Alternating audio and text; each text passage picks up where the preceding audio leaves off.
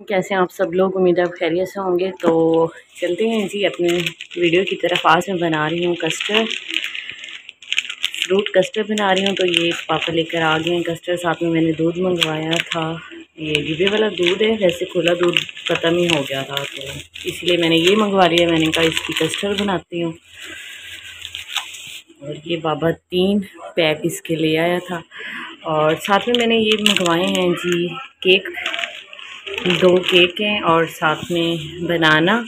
और साथ में मैंने बाबा से कहा था कि वो बाज़ार गए हैं। मैंने उनसे कहा था कि वापसी पे आते वक्त वो मैंगो वगैरह भी ले आए। तो मैंगे मैंगो भी इसमें ऐड करेंगे। तो चलते हैं जी कस्टर्ड बनाते हैं जाके आज भाई की फरमाइश थी कि कस्टर्ड बनानी है।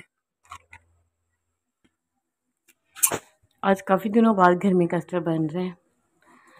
क्योंकि काफ़ी मूड हो रहा था मौसम भी बहुत अच्छा है और गर्म चीज़ें खा खा के मेरे पास सत्यानाश हो? गया था। तो आज सोचा कि क्यों ना कस्टर्ड बना के ना? तो ठंडक की क्यों चाहिए मेरे को मैं जल्दी से दूध डाल रही थी इसमें जो पैक बाबा लेकर आई थी वो सारे ही मैं इसमें ऐड कर रही हूँ। तीन पैकेट थे और तीन के तीन। तो उसके बाद थोड़ा सा मैंने इसी में से दूध लेना है। अभी मैंने इसको बॉयल नहीं किया, इसी में से थोड़ा सा मैं दूध दूँगी, एक कप के बराबर। और उसमें जो मैंने साशे लिया था, दो साशे लेकर आए थे ना बाबा तो मैंने उसमें एक साशे पूरा मैंने उस कटोरी में डाल देना है।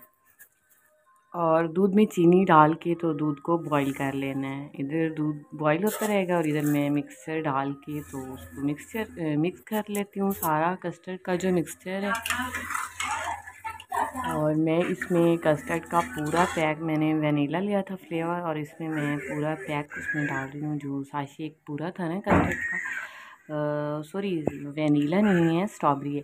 तो उसमें वो मैं सारा ही पैक इसमें डाल के इसको अच्छी तरह से मिक्स करूँगी। जब अच्छी तरह से मिक्स हो जाएगा, उधर से मैंने रख दिया है चूल्हे के ऊपर बॉयल होने दूध।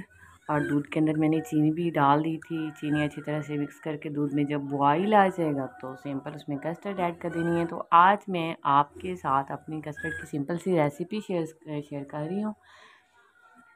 आपने मुझे कमेंट सेक्शन में बताना है कि आप किस तरह से कस्टर्ड बनाते हैं। थोड़ा सा मेरा प्रोसेस थोड़ा सा डिफरेंट है या नहीं या मैंने सही नहीं बनाई तो जो भी है मुझे आपने कमेंट सेक्शन में ज़रूर बताना है। देखें अभी बॉईल आ गया है जो दूध मैंने रखा था तो इसको मैंने दो से तीन बॉईल दिए हैं।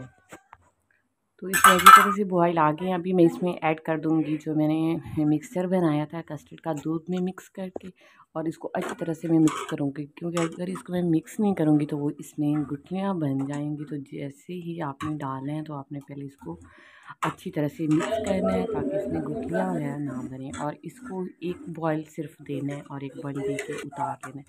तो मैंने भी इसी तरह से ही किया और अभी मैं इसको उतार लूँगी एक बॉयल देकर। उसके बाद इस पर मैंने जो जो चीज़ें इसमें ऐड करनी है, मैं वो ऐड कर दूँगी।